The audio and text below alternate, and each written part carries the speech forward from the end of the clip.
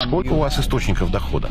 А вы знаете, что у богатых еще со времен древних вавилонцев всегда было сразу множество источников дохода. Вот вчера вечером лег спать, сплю, а деньги зарабатываются. Пока вы спите, то можете зарабатывать больше, чем сможете потратить бодрствуя. Это, конечно, может звучать как преувеличение, но на самом деле так и есть. Видите ли, вы не идете на работу заработать деньги. Вы идете на работу для удовлетворения. Оказываете услуги, чтобы заработать деньги.